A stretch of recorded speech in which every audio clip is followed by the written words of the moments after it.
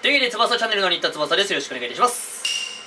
まあ今日、はい。えーっとこの動画が上がるのが、はい。えー木曜日。木曜はい。日になるんで、はい。まあ本当にこれ翌日でしたっけ？ドラクエの日って。そのはずなんですよ。間違いないの？これ本当にここ違うことやったらめっちゃバカなんだけど。今日24の火曜日ですから25の水曜日26の木曜日で27の金曜日がドラクエの日なんで大丈夫のはずです。ああそうですね、はい。じゃあ、まあ、せっかくたまたまこういうのが巡ってきたんで、はい。まあドラクエの人ははい。何をするのかというのを翼くんが読み上げてくださいよ。読み上げますか？読み上げしかないでしょこういうやつはね。しまったぜ携帯なんて持ってきてない。うん。まあでも読み上げてるもうこれだはい。役者だったらもう1回ぐらい見たものはね台本として覚えられるんで、まあじゃあこれちょっとねあのまたこの親父がいるって思ってる人たちもいるかもしれないから。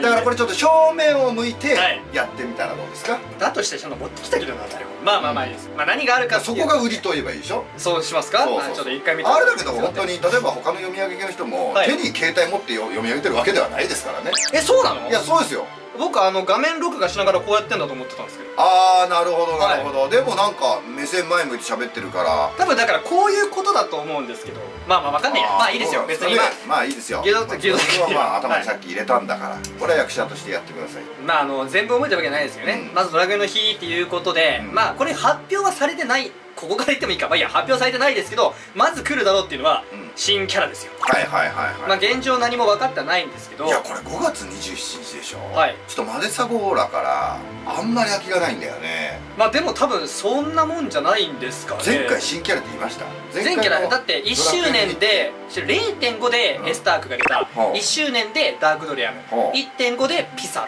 ロう。んで今回2周年です、う。んえーあ何かは出るはずなんですが、うん。まあ巷の噂で、うん。風の噂で、うん。あのーロト。うんロトの勇者が出るんじゃないかみたいなことが。ロトの勇者っていうのは伝説であって、はい実在していいんですかこれは？まあだからなんか1か2か3の勇者って意味じゃないのかなと天空シリーズじゃない。え？そうですよね。123が。もう1からロトの勇者の名前出てきますよ。まあだから多分初の主役キャラ投入じゃないのかなみたいな。自分みたいなもんだよね大体ね。まあそうです。だから名前がないから。うんでそれをロトっていうふうにまあこれ本当にあのロトって名前にしちゃうのかな？っていうことかまあ本当根も葉もない。全くのねはい。憶測で。そうです。無根拠です。うん。あの今回の発表に何もなかった。うんうん。でまあ何の発表があったかっていうとまあ一番目玉っていうのは、あれじゃないかなと後払いガチャはい、これはあの3000ジェムでまず1回引けまして、うん50回が一度抽選らしいんですけど、うん50回一度抽選して5体の S が確定、でこの S 確定したものに対して見てこれどうしようかな欲しいなと思ったら3000円払えば大丈夫、でこれをいらねえこれいらねえと思ったらキャンセルすれば、抽選結果を見た上で破棄できる、うん3000ジェムは使わないとなんかそれはね僕もちょろっと目にしたんですよ、でなんかちょっと話題になってるのはこれで無課金系の YouTuber がどう出るかさすがにやるんじもうゃない？ジェムを購入した段階でもう無課金は。卒業なわけですよ卒業はいなのか、もしくはそこからキャンセルして使わなければまだ無課金なのかみたいにね。でもそしたら優勝3000一生そうそうそうそうそうそれはそれは使うしかないからね。だからまあとりあえず入金をさせようっていうね、うん。あのまあこれは本当にだからこれははね今後も何かしらでこのパターンがはい出てくるんじゃないかと、いやまあ、散々言ってるじゃないですか、はい。このあのスタンプカードの不満は僕はもう常日頃言ってましたよね。だこれをもしかしたらなんか初回の100連のみキャンセル制度がつくとかうん。まあ何十連かは知らないですよ。あうん。まあでも結局これやられてもな関東する人間にはあまり関係なくなってくるのかな。まあよくわかんないけどね、まあ仮このなんか5まあ体、今日はやめるみたいなシステムがつくかもしれない。今日は？そう。今日はちょっとテーブルが悪いやめよ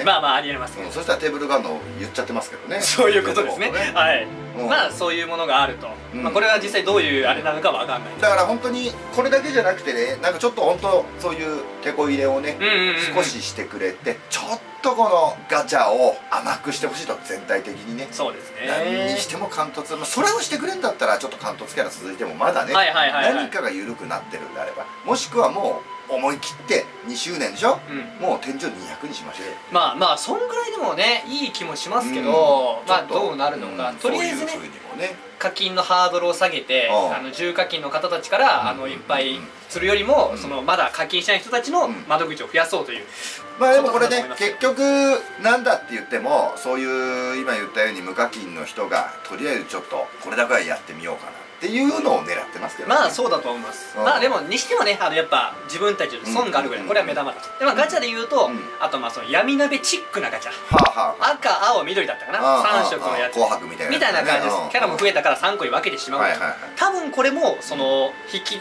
放題なのかな。ちょっとスカウトうん券10個とかあった気もしますけど、うんまあ、自分が好きなとこに行ってうん。ガチャしましょうみたいな感じのやつですね、あと意外とそこら辺でもうそろそろ何かが常設に加わってくる可能性もね。間もなく来そうな気まああがしますが、りまあ、ちょっと候補だったね、まあ、このフォレストとかそういうのが、まあ、今回普通にね復活しちゃってるんでまあ今考えるともうそうですねあのーヘルバトラーとか、まあ、キングレオとかね。あまあそのあたりはいらああないですね。ちょっとこの辺じゃないかと、はいはいはい。バラモスドミももうやっちゃっていいんじゃないかな。パラソン使ってると少ないですからね、うん。あれはまあだからこの辺りを常設で増やさないと、まあ、はい。前に僕が言ったように開花がちょっとねうん、しんどくなってくるくらいですから。大変になってくると、はい。面白くなくなってくるとまあ言いましたよね、ね、はい、うん、だからまあまあこれ本当に全然ねまたホットスケールが考えてる以上に大きいかもしれないし、はい、まあ、そのさっき言った翼くんのロトなんていうのも、うん、まあくの嘘だったら全然わりません。なんだかまあよくわかんないですけどまあでもやっぱり2周年ですよね,、はい、そうです2周年だったらおそらく勇者とか、うん。うん、魔王とかじゃないとちょっと話が、ね、まあ裏ボスにしても違ってくるわけですよ。姫姫魔王魔王って来てるから、まあ、天のイベント、うん、またなんかそこなのかなとかも思っちゃうんでね、はい、まあ、実際これ本当にどこの情報かわかんないけど、まあ、ロトなんて出たら逆にねちょっと面白いかなと。そこの出所の話とか。伝説が顔出しちゃうわけでしょ？いやもういよいよ来たぞという話ねでなりかねないですけど、まあそれはもう結局多分27なんか、うん。まあなんていうか分かると思うんで、はいはい。ない可能性もありますけどね、うんうん。そしてですだからもう、はいうんなんですか？あなんかなんかあるみたいな。いやもうこれもう一番目玉を僕取っておいたんですほうほうほうほう。よなんですか？なんと素晴らしいことがトマホーガの専用武器が来ますね別にそれトマホーガーの専用って何ですか？なんかボールまあ新しい新技に対してのまあだからそういうのとか火力盛りみたいなちゃんとこれはでも運営がうん。トマホーガ用の武器ですようん。ともちろんねその例えばあのだいたいグレイナルだとか、うん。えっ、とまあマデサゴーラとかもうん。S 武器とかあると思うんですけど、はいはいはい。トマホーガ用のだからもうもしかしてそれってがあのー闘技場メダルさんのキャラクターに今後一本ずつついてくるってことかな。ってことかもしれないですよ。でもトマホー一番最初ですよこれ本当に。えー、っと一番最初。か。そうですね、はい。ただまあこれを2周年にうん持ってくるのかっていうあれだったんですけど、っていうか武器はあくまでもこのストーリーの中のおまけであってうん。そこをなんかピックアップする必要は全くないんですよね。そう。それがあの出てきてたからああそうなんだみたいな感じ。ああとあれですよ。図鑑あそうですよ、うん本当に。これは僕もさっきまで全く知らなかったんですけど、うんうんうん。ようやくといった感じですね、番号がつくのかどうかわからないですけど、だからこれ本当にね翼くんとかねゆかめろさんとかキャラがまだ全部コンプしてない人からしてみるとどれが抜けてんだろうっていうのが発見しやすくなるそういうことですよ。ここでまだゲットしないとかうん。だけどまああ今までずっとコンプ勢で来てた人たちはまあどういうことになるかというとまあ系統別で分けたりとかそういうのが見やすくなるのかな、はい。多分そういうことだと思いますよ。うんうんうんなんかまあそういう風になるのかもしれないしまああとはちょっと僕の希望なんですけど、はい。なんだろう。自分なりに位置を動かしたいってキャラのそうそう。めっちゃわかります。わかる。はい。ヒャドはヒャドで自分なりにね使いやすいものを並べとくってやりいうたいやりたい。うん、こういうのがあればね。だそろそろなんかねそういったこのゲーム以外のことも、UI うん、直してもらわないといけないかなって思うんですよ。でまたこれね、まあ、ちょっとここまで何も触れないで僕ずっとここに出演してますよ。出演しちゃってますよ皆さん。はい。ね。だけどまたこれちょっと怒られちゃうかもしれないんだいやけど。これは怒らないとななんか言うんですか？そうそうそう。僕はね、はい。今後思ってるんですよ。はい。うん、やっぱりそうやって今回この無課金にもちょっと若干課金させてやろうかぐああはいはいはいはい。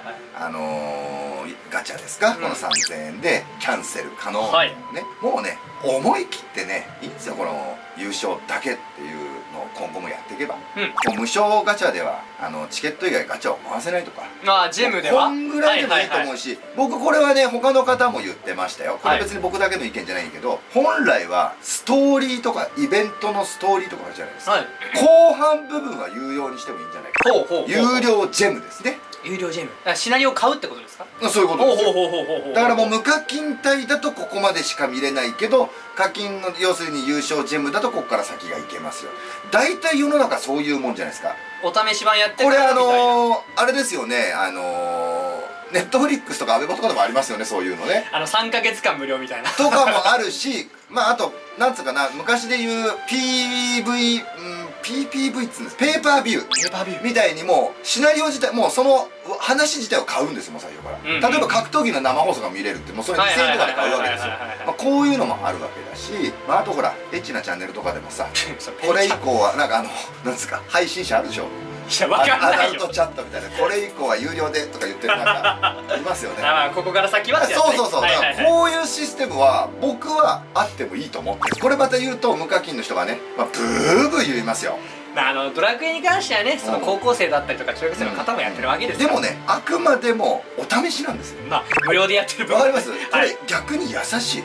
お試しでずっとやってられるんですよ。はい。ほらなんかまああのプレイオープンみたいなのあったじゃないですか。もうこれドラクエオークもドラクエタックのもあったんだけど何でしたっけ？あの本当にリリースされる前の。プレリリース。そうそううそうそうそう、まああんなのとがもうここまでやれてると思えばいいじゃないですか。ね。そうすればもっと運営側からするとそのちょっとずつだけども有料のジェムを買って、まあはい本当ガチャとは全然違うからね、うん。1000ジェムでも買えばまあまあ遊べますよ、はいはいはい。でだからストーリーを、まあ、12話あるなら6話までは今まで通り無償ジェム無償スタミナジェムかな。だからもう今度ねジェム制にしちゃうんです上は。スタミナじゃないんですよ、もう。買えと。あそうそうそうそうそう。そうこんなんでもいい。で2回目以降はスタミナですよ。はいはい。一回買い切りでですけどね。そうそうそうそうそうはいはいはいはいこんなんだったらもっとね活性化されると思まあ純度はね課金純度は上がりそうですけど、ううん。なんかねでもやっぱ純粋にプロモーションなんじゃないですかドラクエっていうもの自体の。だから改めて思ったのはこのゲームとか本当にうん、優しいですよね無課金に。ねいやそうだと思いますよ、まあまあ遊べますよね。まあまあどころか本当に遊びきってる人いますからね。いや本当に。ガチで、ガチで無課金でやっていますといらねえっつうのそんな。のまあまあでも本当にいろんな方が楽しめてるわけですからも。うもう始まった。だからもう。ちょっと一応ね あの前回翼くんが一人で出たところから僕はちょっと遠慮していました。だからね、はい。でまああとおつるさんとの戦いもあったんであまあそうですね。ちょっと遠慮したけど、もう発作がね今後はね、はい。まあ、ちょっとあらかじめ言っときますけど、うん。まあ、このチャンネルは基本僕は暴言を吐くと ね、で翼くんは基本穏やかな性格なんで、はい。どちらかというと、まあ、自分が美課金超美課金だから無課金目線美課金目線で喋りますよ。まあそういうですよ。うまく共存していけばいいんじゃないかな。そうですね。新しいジャンルを生み出しましょう。そうそう、はい。あもう今日このおじがいると思ったらもう見なくてもいいですし、はいはい。うん。ね。まあだからつまた翼くんの応援コメをくれてもいいですし、ええ。まあでもよかったですねあの一人で、えー 月曜日に公開してみて、はい。これ本当仲間内ねダンバンダンと鬼コン教団ぐらいしかコメントくれなかったら翼くんショック受けんだろうなと思ったら おこれいいですねぐらいのね。あとまあうん、どちらもいいって言ってくれる方もいまはいもしたし、ちろんですもちろんです。うもうこれがいいよってね、まあ、これ分かれても面白いと思うんですよ。まあ本当にいろんなねあのご意見いただけるのはでも楽しいどんどんどんどんね僕に対してのディスコメも待ってますんで、はい。その代わり僕はディスコメには必ず返信しますからね、うん、優しいですよこれちゃんと。はい返信します、まああの無視はされないそうこのチャンネルは絶対いけるとこまでは無視しない、はい。うん、ガンバンガンガン答えます。出資きました はい。はい。まあそういうことで、はい。ちょっとねじゃあもう手打ちですよ。もう 共存しようやと。はいはい。まあまああのそれをどんどん目指していきましょう。はい。うん。まあそんな感じで。はい、はい今回はこれで。はいどうもありがとうございました。2周年関係ねえの 共存しようってやっちゃチャンネル。チャンネル登録してくれよ。なな。チャンネル登録してくれよ。なな